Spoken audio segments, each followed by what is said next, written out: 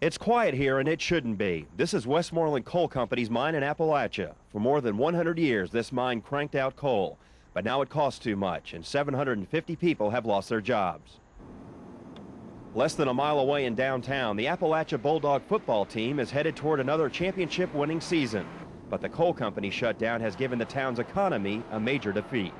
My family's here, and if I was going to go to work or have a job, I had to create it. G.W. Klissos used to own a restaurant in Appalachia, but when word spread the town's biggest employer was shutting down, businesses left and his restaurant closed.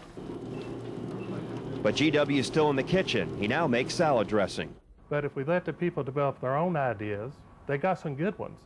Give them a little bit of help, a little bit of encouragement, be surprised.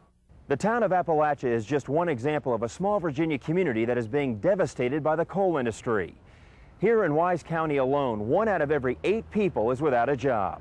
The majority of those unemployed are connected to the coal mines, and experts say during the next decade it's only going to get worse. Curtis Harris knows about the bad times. He worked in the coal mines for 18 years and then was laid off. His company couldn't pay him anymore. Now he's studying to be a nurse. There's a lot of opportunities in front of me after I get a RN degree. More so than you think if you would have stayed in the coal industry? Yes, the coal industry just boom and bust all the time, and I got laid off a lot. Curtis, Kenny, and Danny have traded in their dirty black coal overalls for clean white nurse uniforms, and they don't mind one bit. You're on the floor working in a hospital, somebody that you used to work with shows up there. And here you come strolling in, they used to know you in the coal mines. Oh yeah, they give you a hard time. They look at you like, what are you doing wearing white now?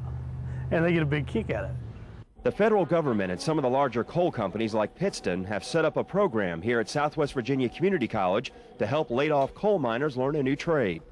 Mary Yates says after more than 12 years in the coal mines, it's difficult to learn a new profession.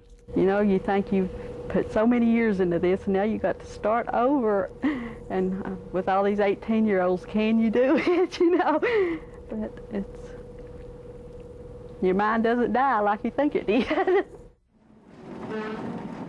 Coal industry troubles have miner Emery Hess wondering how much longer he'll have a job. Yeah, it concerns you because you don't know, you know, what the coal markets are going to do or, you know, if your mines is going to run or not, you know. Once you get to a certain age, well, it's hard to get a job elsewhere, you know. There are opportunities for coal workers to mine a new profession. Many are doing just that. But some of the old veterans are hoping the value of coal will rebound.